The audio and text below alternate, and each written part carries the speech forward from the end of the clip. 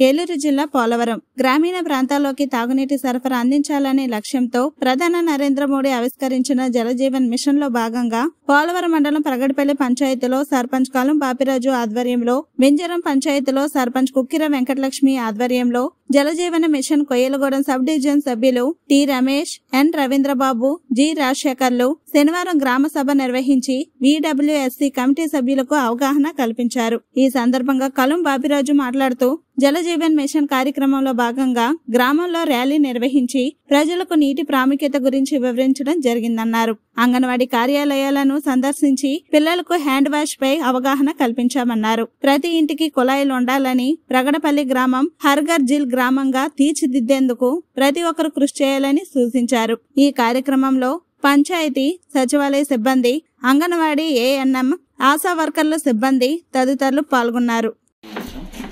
మరి ఈ జల్ జీవన్ మిషన్ అనేది ఏంటంటే కేంద్ర రాష్ట్ర ప్రభుత్వాలు ప్రతి ఇంటికి కూడా మంచినీటి కుళాయి ఉండాలి రక్షిత మంచినీరు అందించాలని ప్రతి వ్యక్తికి కూడా యాభై ఐదు లీటర్లు యాభై ఐదు లీటర్లు ఈరోజు వేలూరు నుంచి స్పెషల్ టీము మన ప్రేడపల్లి గ్రామ పంచాయతీ కార్యాలయంలో జల మిషన్ కార్యక్రమం గురించి గ్రామ సభ ఏర్పాటు చేయడం జరిగింది.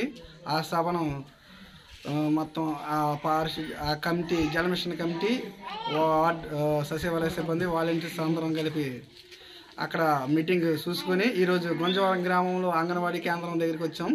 ఈ పిల్లలు కొంచెం అంటే హ్యాండ్ వాష్ గట్రా చేయించడానికి ఎలా ఎలా ఉన్నారనేసి వస్తే ఇక్కడ బాగానే నీట్గా అన్ని నీట్గానే ఉన్నాయి.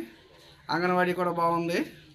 ఇలాగే పిల్లల్ని భోజనం ఎప్పుడెప్పుడు చేతులు ఎప్పుడెప్పుడు చెప్పండి. దుర్గాప్రవాళ్ళకి చెప్పు నువ్వు ఎప్పుడెప్పుడు అడుగుతున్నా చెప్పాలి. చెప్పాలి. చెప్పు. చెప్పాలి.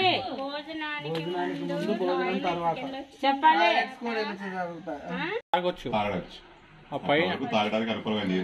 అక్కడ వరకు. ఆ పైన కలర్స్ వస్తే మటుకు డేంజర్ వాటర్ తాగకూడదు. ఇప్పుడు త్రీ కలర్స్ ఉన్నాయి కదా.